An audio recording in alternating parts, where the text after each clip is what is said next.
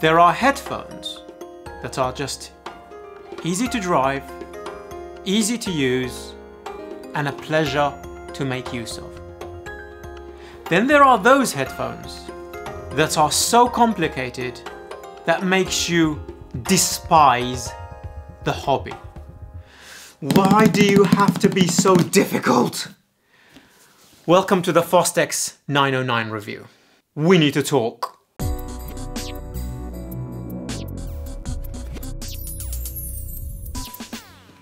So, this huge box arrives all the way from Japan, except this one didn't. This one came from Mimic Cables. Thank you so much for sending this unit in for review, mate. I really do appreciate it. Mimic Cables is a dealer in Fostex, Audeze, Focal, and Benchmark and a myriad of other companies' equipments. So if you are interested, feel free to check out the information down below. If any of those headphones, amplifiers, DACs, etc. is to your liking and send him your love.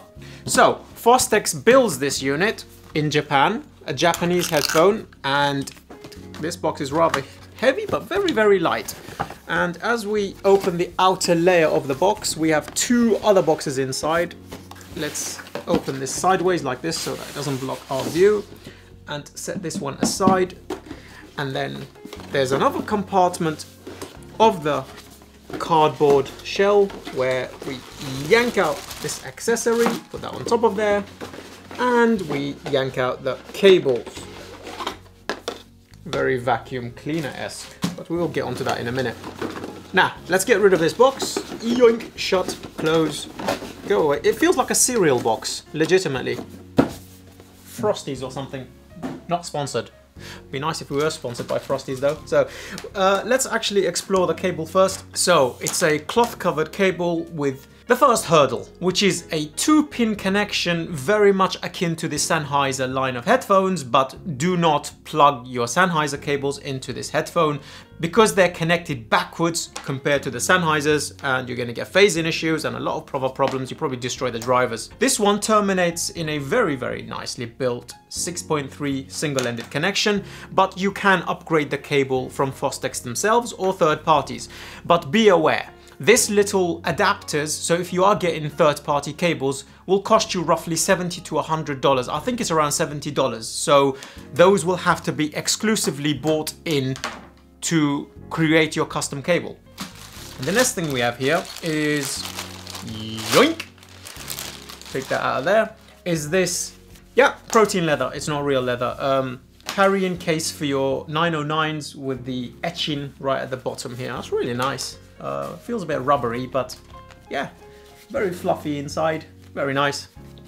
My Susvaras came with, same, with something similar, and um, it's something you will never use, to be honest with you. So let's throw that over there off camera. Actually, that might mess up with the lighting. Go, mm, yeah, we don't need those anymore. That cable, ergonomic-wise, is not very great. It's heavy, it's thick, and you might want to invest in something else. But this is what you're here for. Nice outer layer box, probably upside down as usual. Documentation and a nice inlaid foam to protect the headphones as they sit in here. Now, there's nothing else in here apart from some Japanese salt. Do not eat that. Let's set that aside for now and move this other box out of the way. Taking a tour around the headphones, Japan's lacquer Bordeaux finish has been applied to the cups they attenuate a little bit forward and back rather well and and up and down very nicely. The actual adjustment mechanism is wonderful. They're very light, they're only 390 grams and it's just beauty all around. The build quality of this headphone is absolutely ridiculous. We are talking true flagship build quality, very light, very ergonomic and look at that cup. Jesus Christ. These headphones are a semi-open design with a double layer metal mesh that has been overlaid each other so that the holes broaden as it goes towards the back of the cup and they narrow and shrink as they come forward. This is supposed to help with distribution of sound as it's escaping the drivers because these are a semi-open back. They're not completely open. But fit and finish, my goodness. There is a video I will actually link down below where you see the construction of these headphones and how they do the coloring. It's magic. Love goes into this, the way the Verite and the way the Meze Audio headphones are focused on. It's just beautiful. Very, very light, very comfortable, very open feeling. And as we discussed, the connections underneath are that odd proprietary two pin connection akin to Sennheiser, but wired backwards. So please don't use your Sennheiser cables with this headphone. Fit and finish, phenomenal. Outstanding. Some people might find issues with this thin headband, uh, especially with that channel in between the padding. I haven't found a single bit of problem with it personally. The specifications for this headphone, we're looking at 25 ohms. So it's a very easy to drive headphone with 100 dB sensitivity. That already is uh, throwing up red flags for me. Easy to drive headphones are notoriously difficult to drive correctly. And this is no exception. It's been a freaking nightmare, but we will get onto that. The driver behind the Fostex 909 is a 50mm dynamic driver using 1.5 Tesla magnets with propulsion technology the biocellular drivers is using some custom proprietary technology behind this as well. So interesting drivers, but they're dynamic. They're 50 mil, they're not very large, and they're extremely easy to drive. I mean, you can take this on the go with you. I wouldn't recommend it. They do leak some sound, so they're not your train and your bus headphones. But around the office and around the house, you can actually get use out of it if you can drive it properly. These wedge design pads are rather interesting and very, very comfortable. They're protein leather as well. I think they use the inner layer of eggshells to actually construct this pad, or that might have been the 900s, but I'm pretty sure it's the same similar um, method of making these pads as the 900s Mark IIs. Those are rather legendary as well. I can't wait to bring those in for review. So that's the headphones themselves. Pretty beautiful, gorgeous, well designed. So where is the problem? Because these headphones are notorious. We have some reviewers that absolutely despise it. We have some reviewers that swear by it and nobody's in the middle. We have fans of these Fostex headphones and we have people that hate them. Untangling the untangleable is what we do here and I have spent the last four weeks putting these through its paces. It's been on my desk as my daily driver with the Elites and the other myriad of headphones that have come in. And we've got to the bottom of it. What the problem is and which equipment you personally should actually use with these if these are your sort of headphones. This is not for everybody, first of all. Second of all, not all of you will reach for these. But the ones who do know exactly the reason why they are buying it. This is a $2,399 headphone, which is basically in the upper flagship territory of Verite Closed, approaching Diana's, Stellia's, Verite Open, Empyrean, and a myriad of other headphones. So this is up against some serious stiff competition and it's doing something that none of those headphones do because it's very different. The performance you get out of this is very different and specific. It's not a everyday headphone. Comfort is, sound isn't. This is one of those flagship headphones you have in your lineup that you reach for and once you reach for it, you realize why you love them and why they're there. But then, after the listening session's over, it will go back on your wall, back on your shelf, and it will come out again at a later date. It won't be constantly at your desk. Very few people, I think, would use this as their daily drivers. There will be some of you who do, and please put it in the comment section below if it is your daily driver and why setting aside the comfort because I can imagine you actually using this as your daily driver due to that insanity comfort. So that covers the housekeeping, hardware and technical abilities. Let's talk about the overall sound before we break down the frequency response.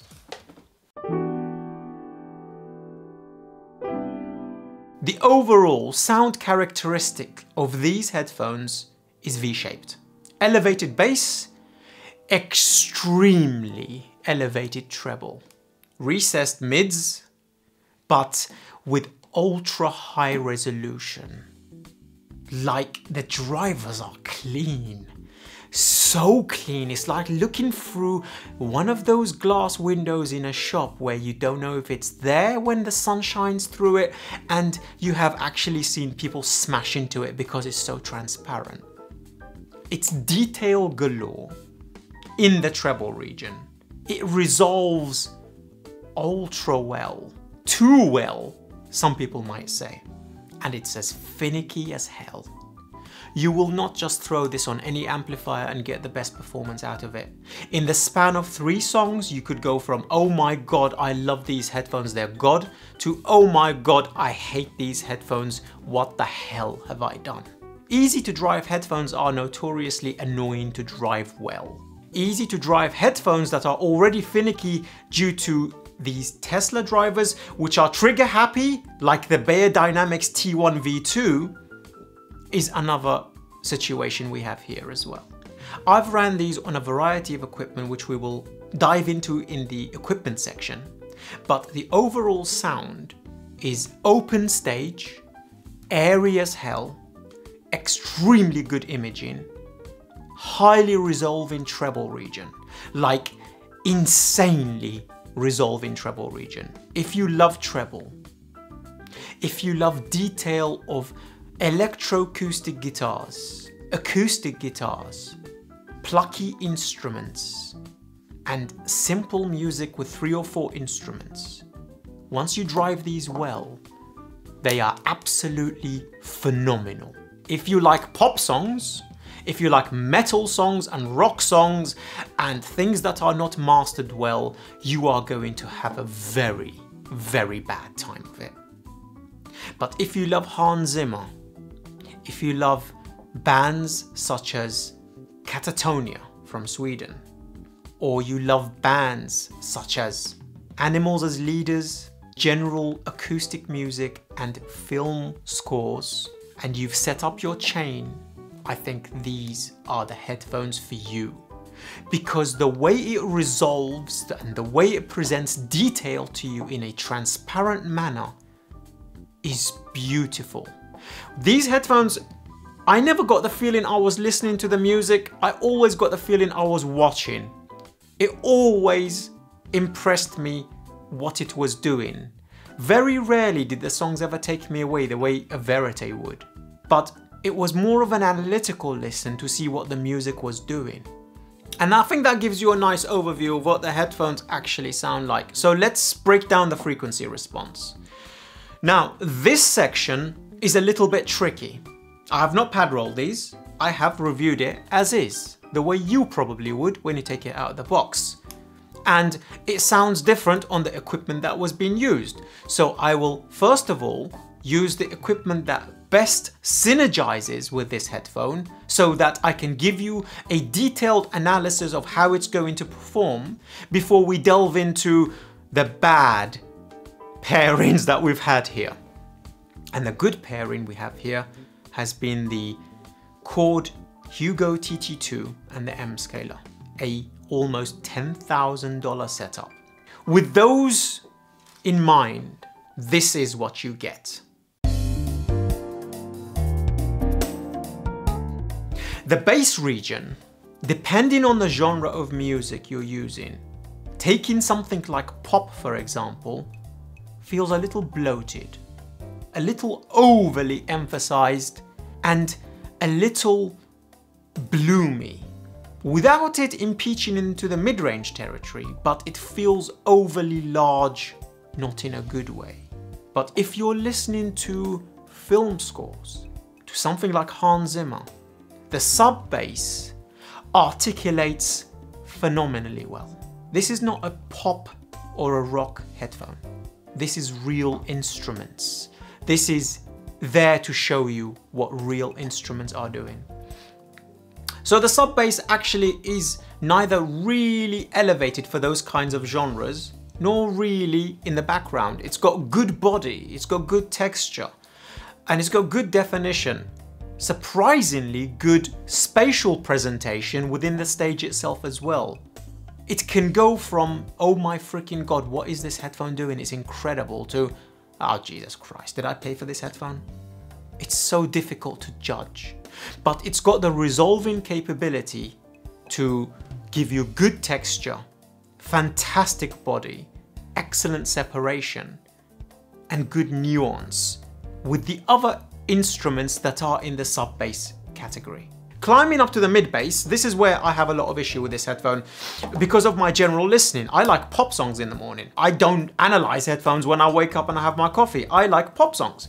I listen to Eastern European music mostly, and for every pop song, pretty much, sometimes it feels a bit bloomy and it feels a little bit over bloated.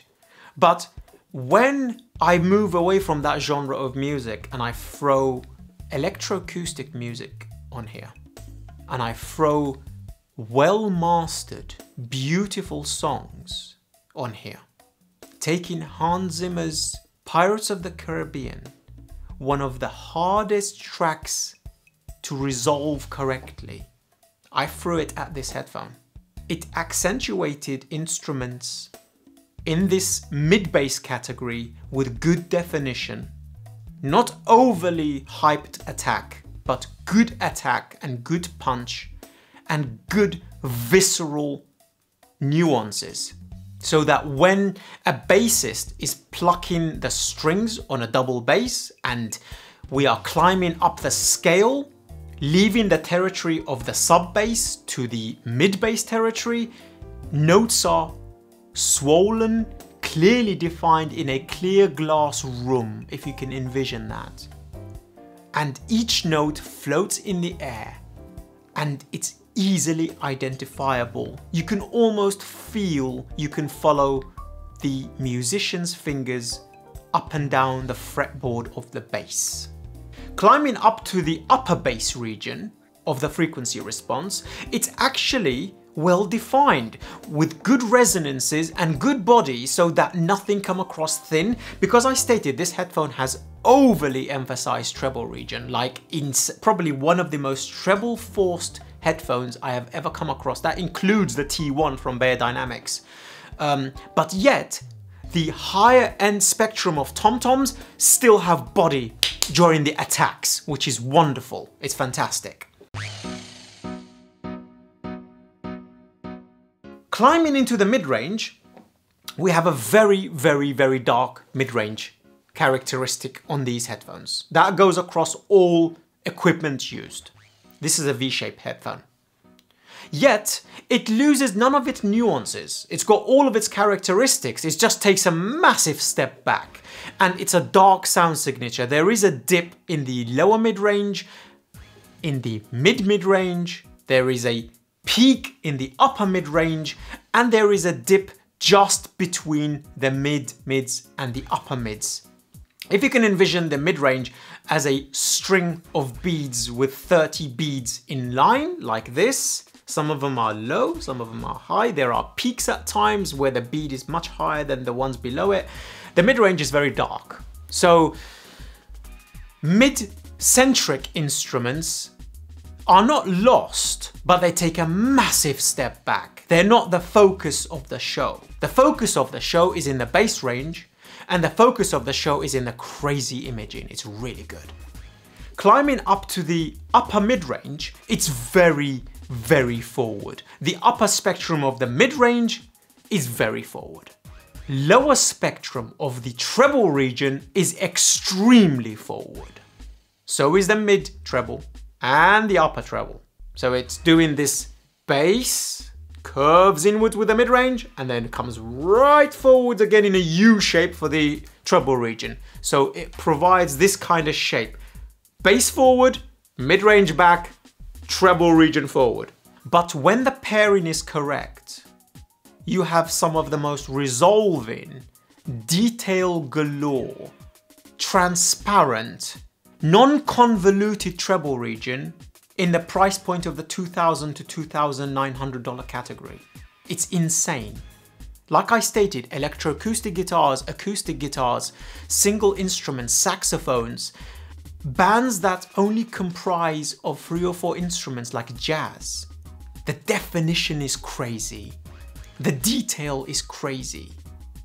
Like I stated, the listening experience on this is very singular. And you bring these headphones out at times, not every day. But it's a wild ride. So the frequency response plays thusly. Now let's talk about some of the bands and songs that were used to push this headphone to its limits. I went right through Hans Zimmer's collection, his pride and joy being the live concert for the Pirates of the Caribbean two-parter suite on Qobuz. One of the most difficult tracks, 8 out of headphones literally crap their pants. When testing headphones with that track, even using some of the most expensive and best gear money can buy for headphones. I mean, we have like the OOR stack from Ferrum, with a DAC3 from Benchmark. We have the TT2 and the M-Scaler. We've been using some very, very, very high-end equipment with these headphones. But when I put that track on here, and like I stated, it breaks 8 out of 10 headphones, I was very surprised. It resolved the treble region extraordinarily well. Nothing became discordant. It could not identify each individual instrument, everything was a little soft, but the spatial presentation and the reproduction of each instrument in that 30-40 piece band was non-convoluted. It was easily identifiable, especially when you hit the crescendo, when a multitude of instruments simultaneously hit a specific note together where it would utterly destroy something like an LCD XC. This headphone managed to resolve it very, very well. The mid-range was a bit lost, and the band was much further back than it ought to be at times, but it's an orchestra. They are supposed to be set back. So you could see a massive floor space between you and the people on stage very resolving in the treble region where you could actually hear the conductor walking around and wiggling his, uh, whatever the hell he wiggles. Insert word here. So for me, this is the treble region headphone for whenever I want that kind of listen. It articulates well, the driver is very resolving, and they can be an absolutely exceptional pair of headphones. I love them for what they do because they're unique and they're very different from everything else. They stand apart and they have got their part to play in a lineup. And just check this freaking build quality. I mean, this is beautiful. Let's get on to the equipment that was used because it's shocking. Um, I used the OOR right there uh, with the Hypsos power supply and the benchmark DAC3, which is a clinical DAC that's highly resolving, it's extremely well technically able, but fortunately, we have the Hypsos power supply, which allows us ch to change voltage to the amplifier itself. We had a range of 26.9 V to about 22.5. I ran this through a thorough testing and I found the best voltage to be applied to that amplifier for these headphones was at 22.5 volts. It becomes smooth, detailed, highly resolving, and a wonderful pairing. Absolutely fantastic. For example, the Susvara voltage. For that amplifier alone, you jump to 26.9. That's quite a swing.